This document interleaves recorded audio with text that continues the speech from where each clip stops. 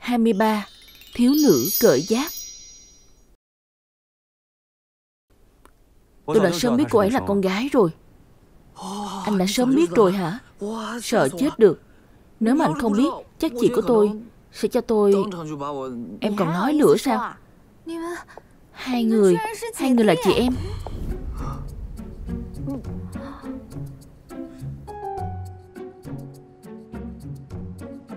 Em nghe anh giải thích đã. Chị anh giả ra là có nguyên nhân. Cô ấy là nam hay nữ Không liên quan tới tôi. Chuyện cô ấy chăng băng Tôi cũng không muốn biết. Giờ tôi mới biết rằng anh luôn lừa tôi. Nghe anh nói đi đã. Tôi không muốn nghe anh nói gì hết. Anh sợ tôi nói ra bí mật chứ gì. Yên tâm đi Không đâu. Tôi nói cho anh biết Anh đừng tới tìm tôi nữa.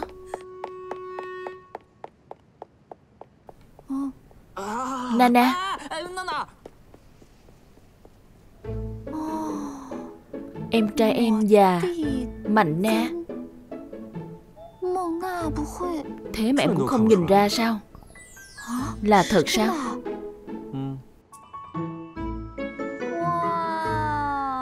Đồ lừa đảo. Anh chỉ quan tâm tới bí mật của chị gái anh? Anh hoàn toàn không quan tâm tới cảm giác của tôi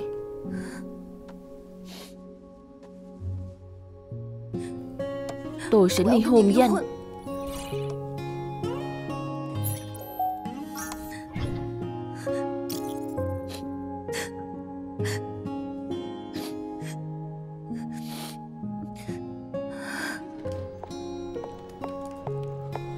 Thương Tâm thật sự muốn ly hôn với mình. Lần này cô ấy làm thật. Tan trạm. Nana, Anh không định nói. Lại là trùng hợp nữa chứ. Trùng hợp chúng ta cùng vào một quán nét. Trùng hợp là tôi và chị anh cùng thích một người. Trùng hợp là anh lại là bạn tâm giao của tôi. Anh xin thề Anh thật sự không biết chúng ta vào trong cùng một quán nét. Được. Coi như anh không biết gì hết. Nhưng bây giờ tôi có thể nói cho anh biết. Anh vì muốn giúp chị gái. Thì anh không cần tốn nhiều công sức. Tôi đã có người tôi thích rồi. Thích ai? Có phải là anh không Anh không xứng để tôi thích anh Nana Anh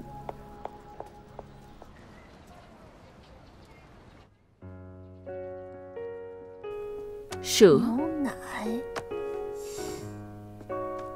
Xin chào quý khách。Anh tới làm gì？Hôm nay anh không phải tập à Cô thất tình mà。Hồng trà Tôi muốn qua đây an ủi cô Cái này. Tặng cho cô. Đây là gì?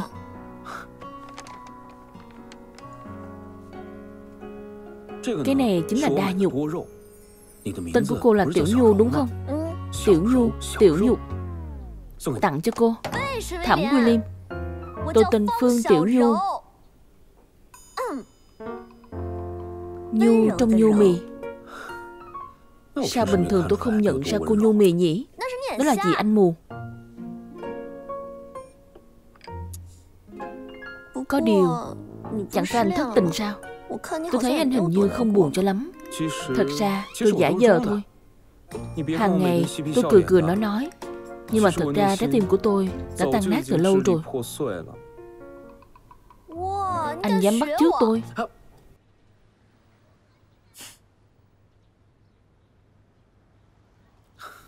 Được rồi.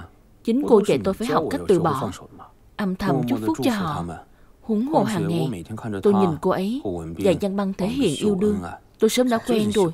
Giang Băng, Vậy không phải là anh thích Tăng Liền sao? Xin lỗi xin lỗi. Tôi không cố tình giấu cô đâu. Dù sao bây giờ cô ấy là con trai. Điều này anh cũng biết à. Nhưng mà cô yên tâm, Sau này tôi tuyệt đối giữ bí mật, Tuyệt đối không nói. Thôi được Vì bí mật anh thích bạn cùng lớp. Tôi cũng sẽ giữ cho anh. Thỏa thuận về nhé. Thôi mà. Đừng khuyên tôi nữa. Tan trạm là kẻ nói dối. Sau này mình không muốn gặp lại anh ta nữa. Dù sao lần này mình sẽ không tha thứ cho anh ta đâu. Nana Anh xin lỗi. Nana Tôi thấy là anh ta thật lòng với cậu đấy. Cho nấy cơ hội đi nhé. Cậu và nấy nói chuyện đi. Tôi rút trước đây. Lệ ra Nana Tha thứ cho anh một lần được không? Tôi cho anh cơ hội rồi. Giờ anh lôi kéo bạn thân của tôi cùng gạt tôi. Em nghe anh. Anh thấy tôi bị lừa chưa đủ thảm sao? Thôi đừng có đuổi theo nữa. Anh đâu có. Tránh ra. Nana Đề nghị quý khách chú ý. Còn 10 phút nữa là chúng tôi đóng cửa lâu đài băng tuyết. Đề nghị quý khách sớm rời khỏi đây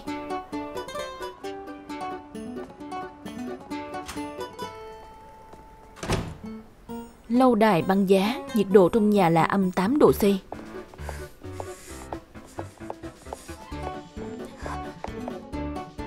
Nana, sao anh còn bám theo tôi chứ? Nana, em nghe anh nói đi. Anh thực sự không cố tình.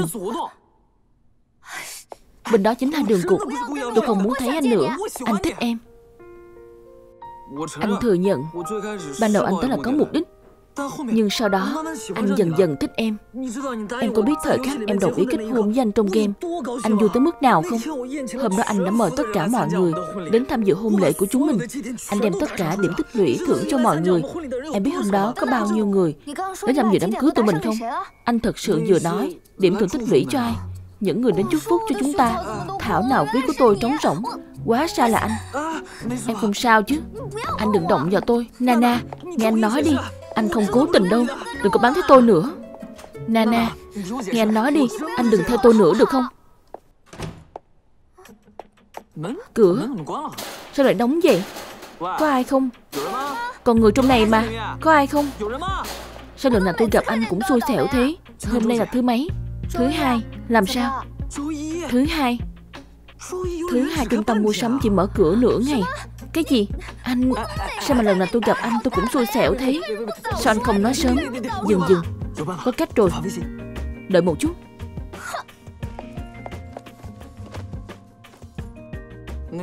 Chị ơi.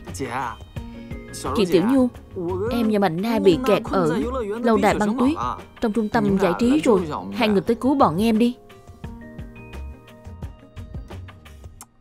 Hết pin rồi. Vậy phải làm sao?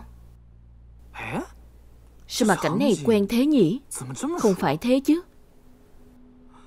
Cùng một rắc rối Xảy ra với cả chị gái Và em trai. Chị em hoạn nạn sao? Không được. Mình về phải bảo chị Hôn anh rể để đổi giận. Đổi giận ư? Là ý gì? Nói ra dài lắm Cảm giác hôm nay đi nhanh thật. Vẫn chưa được một phần mười danh sách mà. Danh sách gì? Kế hoạch một ngày làm con gái của Tan Điền. Anh cũng quá đáng thật đấy. Sớm biết em là con gái Còn tìm mọi cách trêu chọc em. Không hẳn thế. Nhiều lúc công quanh lớn hơn tội mà. Ví dụ như hôm biểu diễn trên phố Nếu không nhờ lúc đó anh kịp chạy tới báo cho em. Em đã bỏ lỡ trận thi đấu ba chọi ba Và rời khỏi lục diệp rồi. Em giận anh rồi Cầm cho em đi.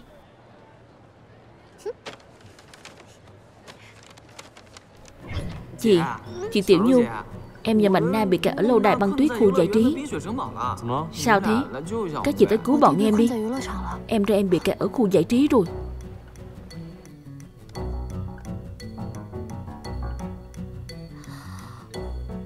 Khu giải trí? Sao vậy? Bạn của tôi bị kẹt ở khu giải trí. Tôi phải đi cứu họ Lên đi. Không Không hay lắm thì phải. Đừng lề mề nữa. Đang dội Nhanh lên.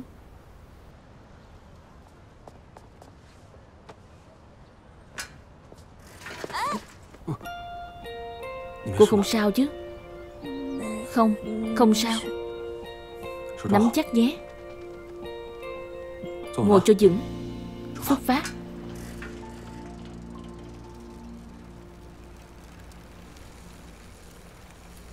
Nhanh lên nhanh lên. Dừng lại một chút Giang băng. Ông ơi Ông không sao chứ. Khoai của tôi Chúng cháu nhà giúp ông nha. Lưng của tôi Cẩn thận. Ông ngồi đây nghỉ tạm đã. Cẩn thận. Cẩn thận đó. Khoai của tôi. Chúng cháu Nhặt giúp cho ông. Ông cứ nghỉ ngơi đi. Phải đó. Dừng xe lên đã. Cẩn thận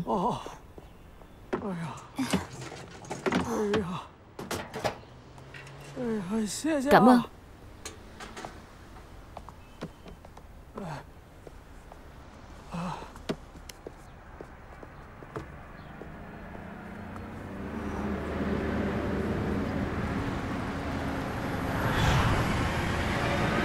Tăng Điền.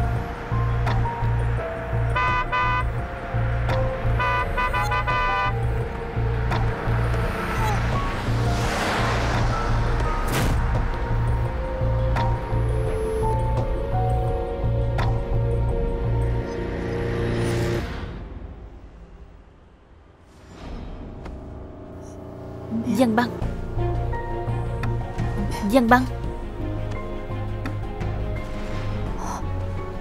Giang băng. Giang băng. Giang băng. Giang băng. Giang băng. Giang băng.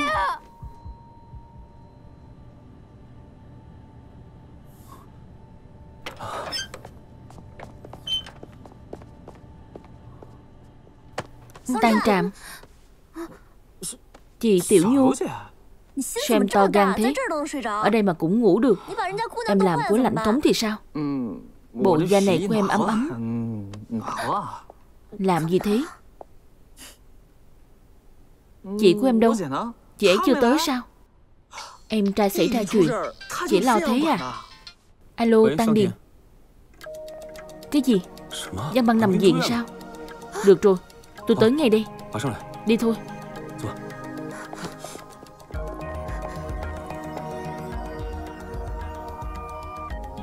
Điền Điền Xin lỗi cậu. Nếu không phải tôi và Tăng Trạm giận nhau Bị kẹt ở khu giải trí Thì đã không thành ra như vậy rồi. Không trách hai người đâu. Anh ấy là gì tôi? Mới thành ra như thế này. Tăng Điền Cậu yên tâm đi. Văn băng sẽ không sao đâu. Đúng thế Điền Điền. Bác sĩ nói rồi. Cậu ấy chỉ bị chấn động nhẹ. Nghỉ ngơi một chút là sẽ ổn thôi. Cậu đừng lo lắng nữa. Hay là chị nghỉ ngơi một lát đi để bọn em trông cho. Mọi người về trước đi. Tôi ở lại với anh ấy. Nhưng cả đêm chị chưa ngủ mà. Yên tâm đi. Được rồi được rồi. Đi thôi. Điền điền Vậy chúng tôi về trước nhé. Cô hãy chăm sóc cho bản thân đi. Yên tâm đi. Đi nhé. Tạm biệt.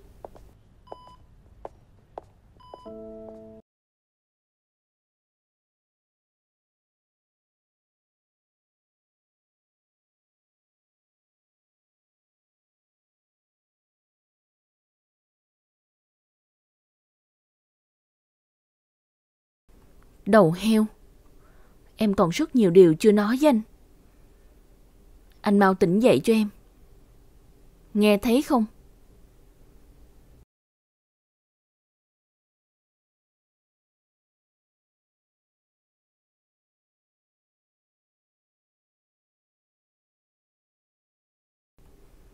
Mau tỉnh dậy đi.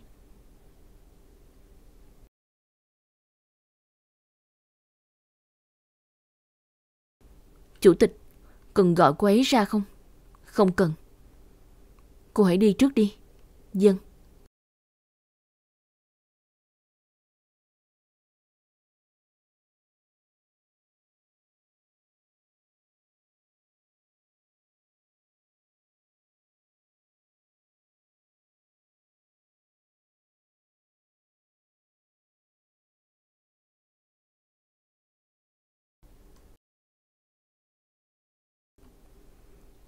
Tăng Điền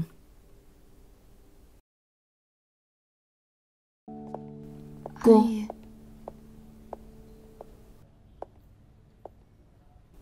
Cháu xin lỗi. Là tại cháu.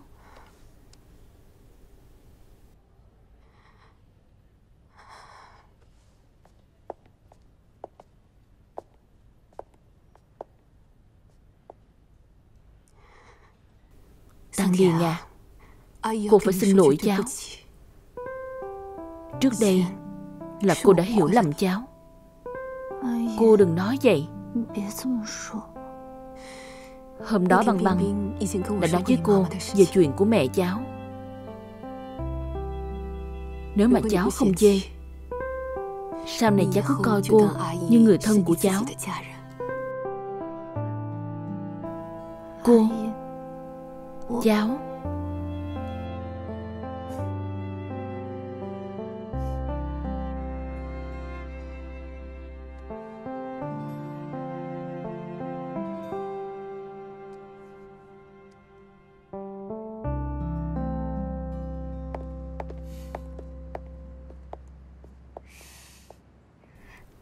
Vậy anh về đi.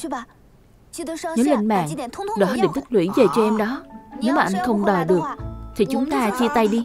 Được được. Anh lên mạng đòi. Đúng rồi. Em có nói với ai Tăng Điền là chị gái của anh không?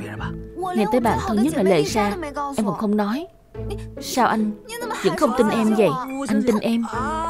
Nhưng bí mật của chị anh là Tăng Điền. Không được tiết lộ ra đâu. Bị lộ chị anh sẽ bị đuổi khỏi lục diệp đó. Chúc ngủ ngon Ngủ ngon. Nana Sau khi về ký túc Nhớ liên lạc với anh nhé. Em biết rồi. Chị sao? Tăng Điền chính là con gái sao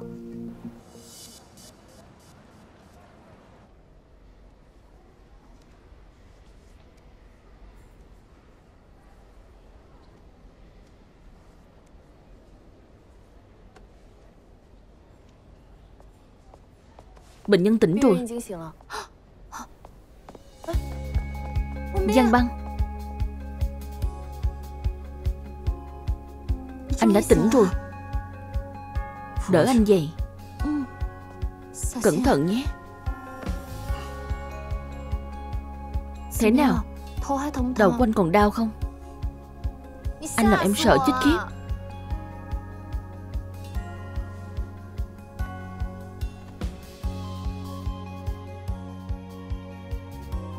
Không dọa em nữa đâu. Là anh nói đó. Suốt một ngày một đêm chưa ăn gì. Em rót cho anh chút nước đã.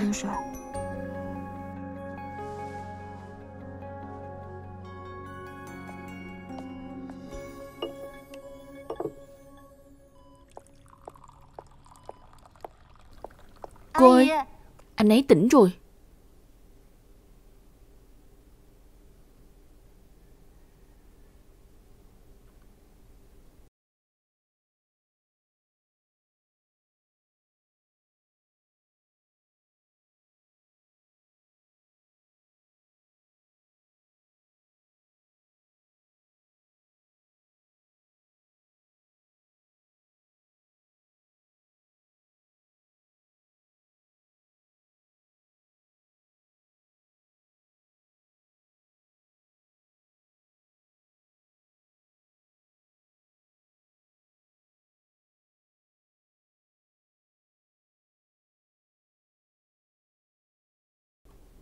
Mẹ.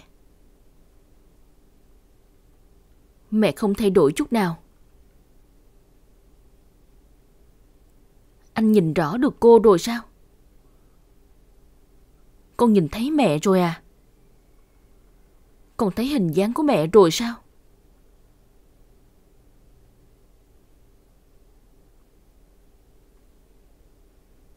Con nhìn thấy mẹ rồi.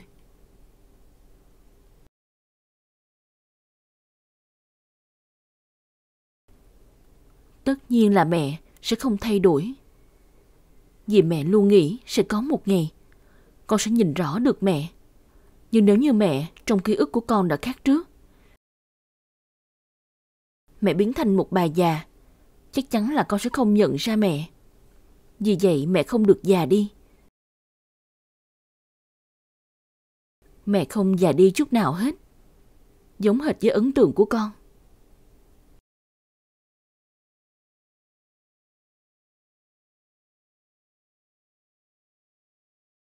Con có biết để không già đi, sớm tối mẹ đều phải đắp mặt nạ không?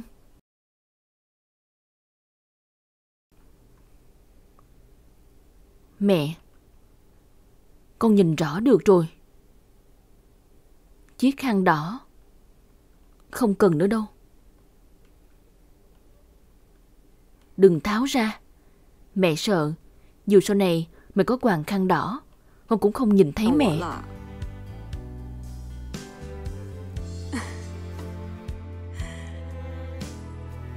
Mẹ trêu con đấy. Thật ra Mẹ hoàng quen rồi. Mỗi lần nhìn thấy khăn đỏ Mẹ đừng nhớ tới con. Băng băng của mẹ đã khôn lớn trưởng thành Sẽ tìm kiếm cuộc đời của chính mình. Sẽ có một ngày Con rời xa mẹ. Vì vậy mẹ vẫn muốn hoàng nó. Cảm giác như con trai của mẹ Vẫn luôn ở bên cạnh mẹ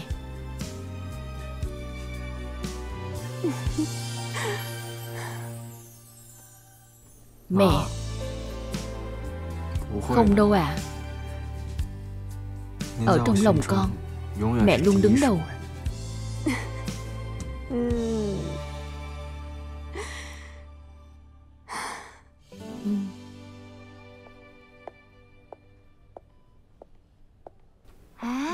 Chẳng phải bà là bà cụ bố bà cho cháu? Ở bến xe buýt sao à? Mẹ. Bà nội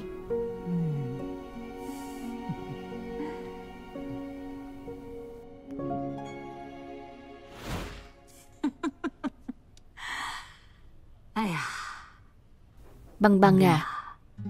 Có một chuyện. Trước giờ bà không nói với cháu. Năm xưa khi cháu bị tai nạn Trước khi hôn mê Cháu có nhớ một cô gái bận rộn chăm sóc cháu Ăn ủi cháu không? Có ấn tượng không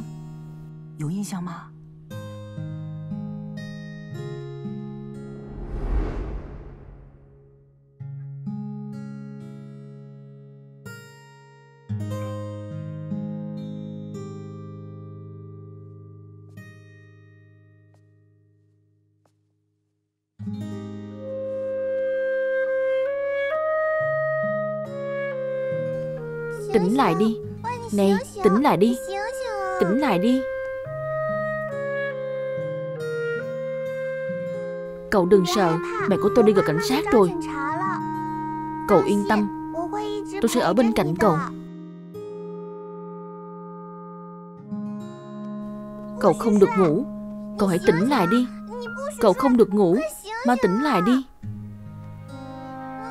Tỉnh lại, Đừng ngủ. Cô ấy chính là cô bé đó. Chính là cô bé đó.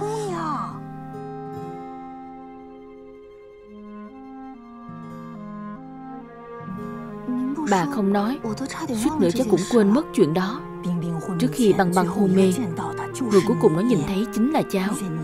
Sau khi gặp cháu, Nó chỉ nhận ra mình cháu. Mọi người nói xem Có phải là sự sắp đặt của số phận không?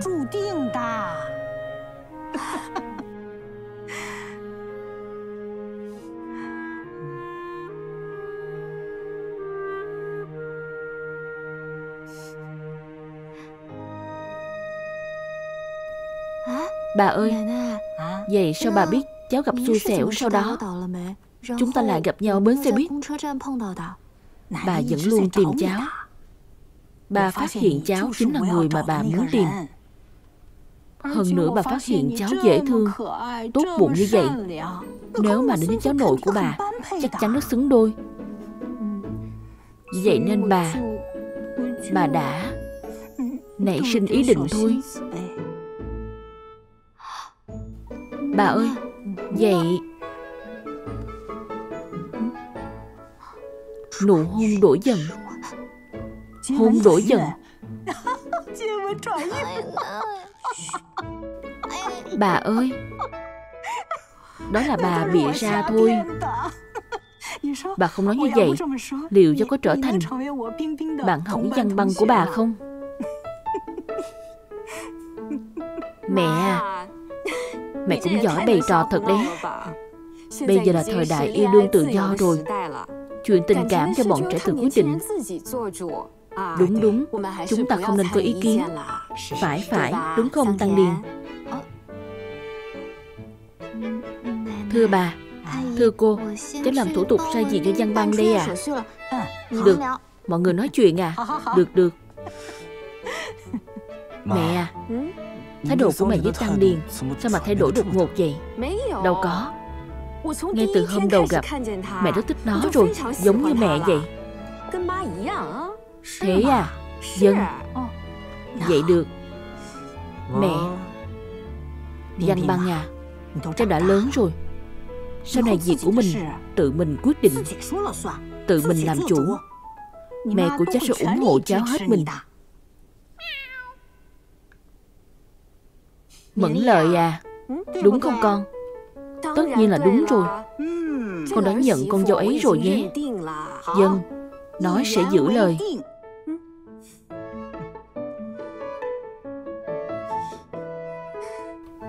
Mẹ Đã lâu rồi không gặp mẹ. Con muốn cùng mẹ ăn bữa cơm Cùng chuyện trò tâm sự. Được được. Cả hai người đi rồi. Con phải làm thế nào đi Cháu dâu của bà sẽ tới chăm sóc cho cháu Cháu có vui không?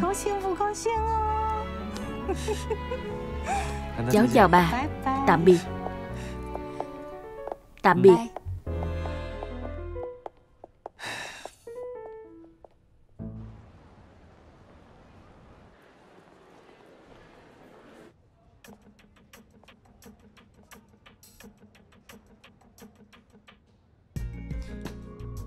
Alo, hiệu trưởng Sao thế? Sự việc chính là như vậy. Sự việc tăng điền thực sự quá không tốt. Gây ảnh hưởng rất lớn cho nhà trường. Tôi biết. Chuyện tăng điền giấu giếm nhà trường Là tôi chưa làm tròn chức trách. Trường đình chỉ công việc. Tôi hoàn toàn chấp nhận. Nhưng mà Tăng Điền thực sự là một sinh viên vô cùng xuất sắc. Nếu như có được cách giải quyết khác Tôi hy vọng ông có thể suy nghĩ xem. Đeo kính râm trong nhà Đúng là nực cười. Làm gì vậy không biết Nghĩ mình là thần tượng hay sao? Trong nhà mà cũng đeo kính râm. Anh đừng cường điệu thế được không? Tưởng mình là ngôi sao quốc tế chắc. Em hiểu gì chứ? Mắt anh vừa khỏi. Là để tránh ánh sáng kích thích. Em thấy anh đeo kính râm. Vì muốn lén nhìn những cô gái khác. Bị em phát hiện rồi. Anh Là em tính sổ với anh. Alo, Tan Điền. Xảy ra chuyện lớn rồi. Tới văn phòng của tôi một lát.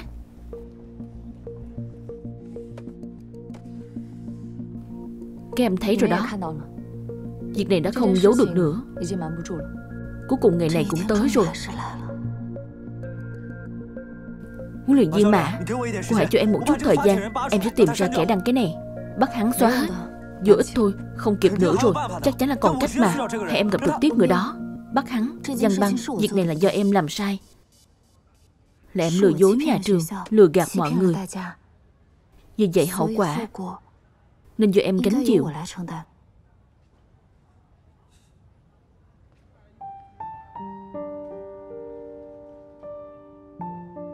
Huấn luyện viên Mã. Thời gian qua Cảm ơn cô đã chăm sóc cho em. Nếu mà nhà trường có hỏi Cô phải nói là cô không biết gì hết Cô đã làm cho tụi em quá nhiều rồi. Em không muốn Vì việc của em mà liên lụy tới cô. Nói gì mà liên lụy hay không? Có trách thì trách hiệu trưởng Hồng.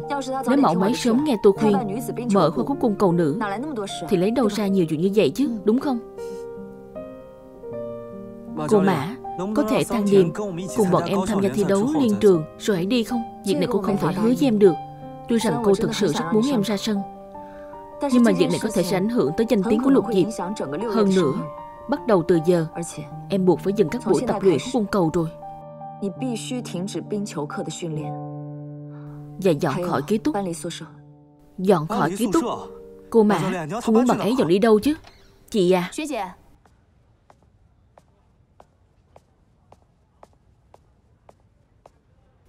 Trang điềm đã rút khỏi khoa khúc cung cầu rồi. Vậy chắc không thuộc quản lý Của chị nữa nhỉ?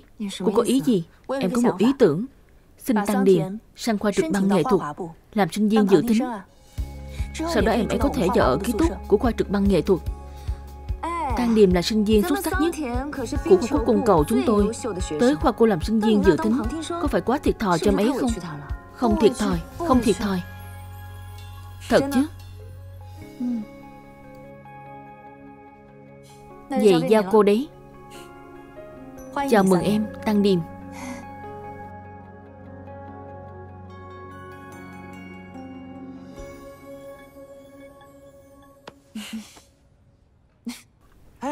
Tình nóng tình nóng. Nghe nói có người nữ giả nam. Vào khoa cung cầu. Việc này cũng vô lý quá. Các cậu xem. Số cuộc là ai được nhỉ? Là ai đây? Văn băng Không phải. Tan Điền Có lẽ Tan Điền Thầy Lý nói đúng trọng điểm rồi。Tan Điền Có lẽ chính là cậu ấy。Tiêu Cậu nói gì thế？Lớp phó Thẩm William lại bắt nạt tôi。William Sao mà cậu bắt nạt Tiêu Tiêu hoài vậy？Đúng thế Cậu bắt nạt tôi。Lớp phó Mấy hôm nay trên diễn đàn của trường Có người tiết lộ có kẻ nữ giả nam Trà trộn vào khoa của mình đó。Tiêu Tiêu cứ nói người đó là cậu Cậu hãy mau cải chính đi. Tôi nói hồi nào chứ? Là Lý Hách. Tôi Tôi đoán mò thôi. Cậu đoán không sai. Tôi quả thật là con gái. Tăng Điền nói lung tung đấy. Cậu ấy đùa mấy cậu thôi. Cậu ấy thực sự là con gái. Tôi có thể làm chứng. Cái gì? Cậu điên à Tôi hiểu rồi thì ra lần trước ở quán thịt nướng, Thẩm William làm bận áo của Tan Điền. Tan Điền không cho động vào. Quá đà chính là như vậy. Không đúng. Lần trước các cậu giúp bọn tôi rửa xe. Tan Điền bị ướt quần áo. Là Thẩm William Khoác áo cho cậu ấy mà. William Không phải cậu đã biết, Tôi là con gái từ lâu rồi đấy chứ. Thật ra cũng không sớm lắm đâu Sau khi tôi dặn tôi thi đấu xong Tôi mới biết。Sớm vậy à？Cậu đã nhìn thấy thứ không nên nhìn hả？Không có Tôi thật sự không có Thẩm William Cậu không nhìn thấy gì? Sao mà cậu biết Tăng Điềm là con gái? Cậu đừng nói lung tung. Vậy chắc chắn là cậu đã biết từ lần đó rồi. Đừng nói bậy. Tôi nghĩ xem Hình như cậu ấy Được rồi được rồi. Dù sao William đã giúp tôi giấu kính lâu như vậy Cảm ơn cậu William Tất nhiên rồi. Tôi không giống một số người Chỉ giỏi phá đám. Cậu nói ai? Được rồi. Lớp phó Cậu giấu chúng tôi lâu như vậy rồi Thật chẳng nghĩa khí gì hết. Xin lỗi nhé. Lâu vậy rồi mới nói thật các cậu biết. Có điều tôi thực sự tên là Tan Điềm Điềm nghĩa là ngọt ngào. Thật ra ban đầu Cũng là do nhầm lẫn Nên là tôi mới vào khoa này. Làm bạn học. Hơn nữa học cười với mấy cậu Thật ra tôi đã sớm biết được chắc chắn sẽ có ngày này rồi. Chỉ là không ngờ thời gian Lại trôi nhanh quá. Tôi còn tưởng có thể cùng các cậu Cho tới sau khi thi đấu liên trường.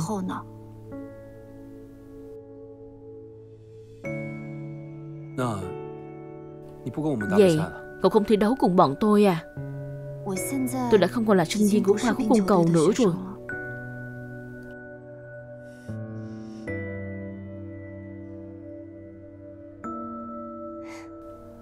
Thời gian qua Cảm ơn các cậu đã chăm sóc cho tôi. Tan Điềm Cậu không rời khỏi lục diệp thật chứ.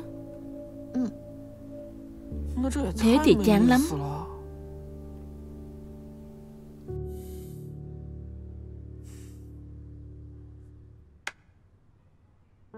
Lừa các cậu đó. Tôi là sinh viên dự tính của khoa trực băng nghệ thuật. Vậy thì tốt rồi. Khoa trực băng nghệ thuật. Dùng chung sân băng với chúng ta Có thể thường xuyên gặp mặt nhau là được rồi. Các cậu thi đấu cố gắng nhé. Đừng làm tôi thất vọng đó.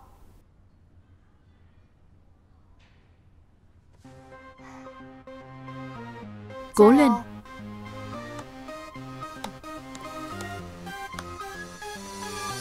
Cố lên.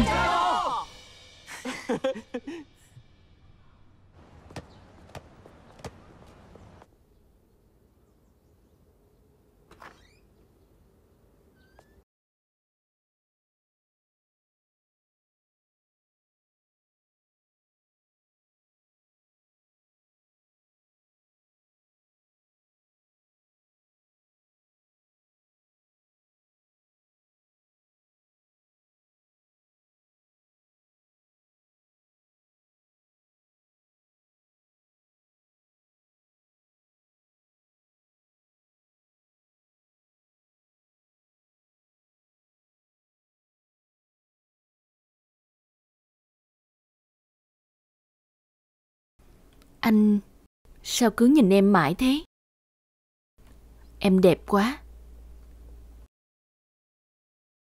Giờ anh mới biết sao? Anh cứ nhìn em như vậy, Em ngại lắm.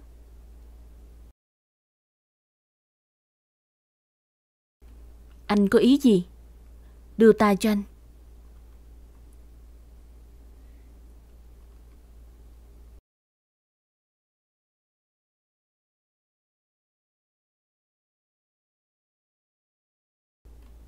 Anh muốn trân trọng khoảng thời gian cuối cùng làm bạn cùng phòng với em. Nhảy danh một bài nhé.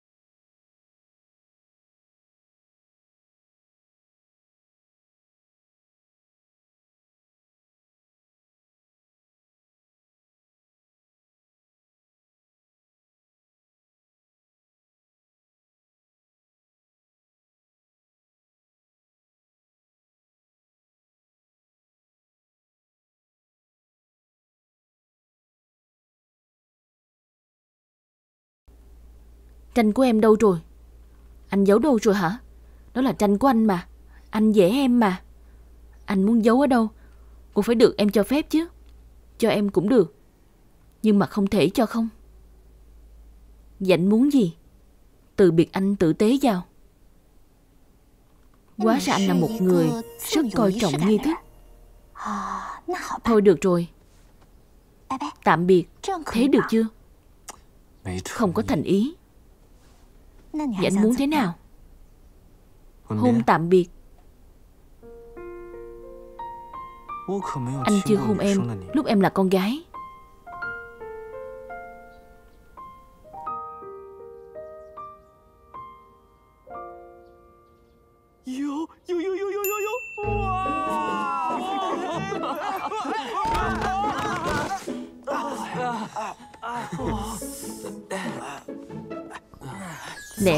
phải nhìn ra từ lâu là hai người có vấn đề.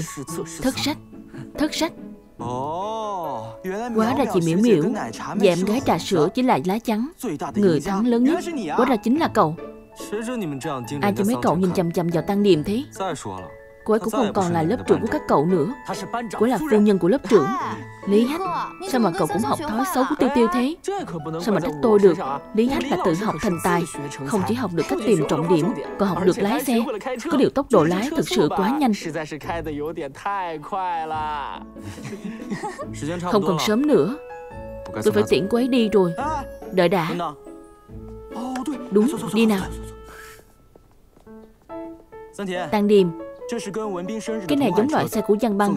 Tặng cho cậu Như vậy hai cậu có thể ghép thành một đôi. Cảm ơn cậu. Ừ, Nào, Tăng Điềm Nhớ là sau khi vào ký túc xá nữ Hãy mở nhé. Các cậu muốn tôi mập chết sao? Không mập đâu. Anh giúp em. Tăng Điềm Cái này Tặng cho cậu. Cái này Thẩm William cậu ghê quá. Sao mà cậu có thể tặng thứ này? Cậu không hiểu Ghê quá. Vậy tôi bảo quản giúp cậu nhé Tan Điềm.